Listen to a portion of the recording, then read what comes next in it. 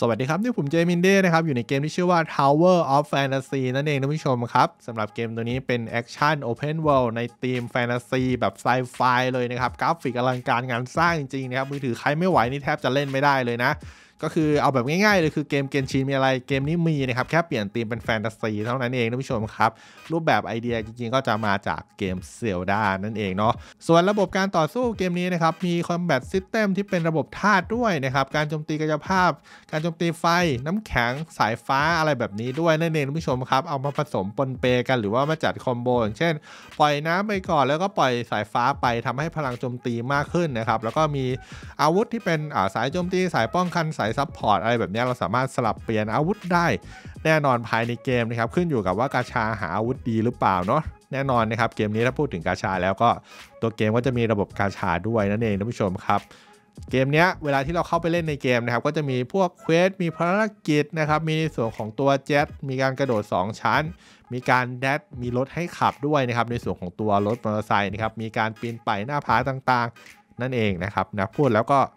เหมือนเกนชินใช่ไหมจริงๆก็เหมือนเซลดานะครับแล้วก็มีพวกอ่า PVP นะครับ PVE ก็ได้นะ แล้วแต่ท่านผู้ชมนะครับ จะเล่นสายไหนที่สำคัญคือเกมนี้เราสามารถเจอผู้เล่นอื่นภายใน map ได้ด้วยนั่นเองท่านผู้ชม เอาเป็นว่าใครที่สนใจในส่วนของตัว Tower of Fantasy นะ ตอนนี้ก็เปิดให้บริการแล้วนะครับ ทั้ง Android แล้วก็ iOS แล้วก็ PC ด้วยนะครับ ในสโตร์ประเทศไทย แล้วเดี๋ยวทีนี้นะครับ ผมพาไปแนะนำวิธีการเปลี่ยนภาษาไทยภายในเกมสักเล็กน้อยนะครับแล้วก็แนะนำในส่วนของวิธีการใช้ ID code ที่เป็นเขาเรียกอะไร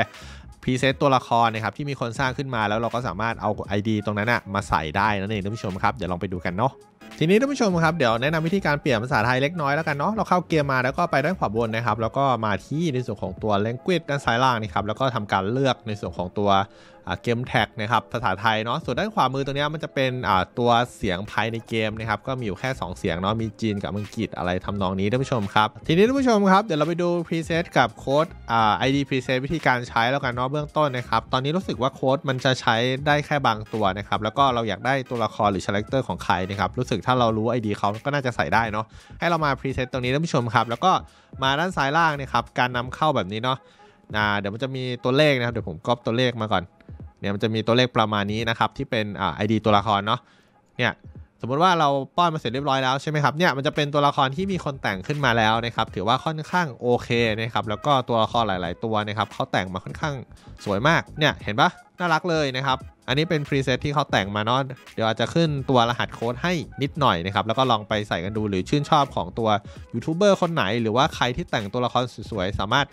แชร์ ID ที่เป็น preset ได้นะครับเราจะได้แบบดูตัวละครนี่ครับเห็นปะน่ารักน่ารักเยอะเลยท่านผู้ชมครับก็ ประมาณนี้เนาะที่เหลือก็ลองไปหาโค้ด ID ชาวบ้านชาวช่องเขานะครับที่แต่งเป็นตัวละครในอนิเมะนู่นนี่นั่น อันนี้แล้วแต่ท่านผู้ชมนะครับ เพราะว่าเกมนี้มันสามารถปรับแต่งได้เยอะนะครับ พวกใบหน้าทรงผมหน้าตาต่างๆนะครับกำหนดเองได้หมดเลยนะครับ อิสระมากๆเลยนะครับ เอาเป็นว่าวันนี้ก็ฝากท่านผู้ชมไว้เพียงเท่านี้แล้วพบกันใหม่ในคลิปหน้าครับ สวัสดีครับ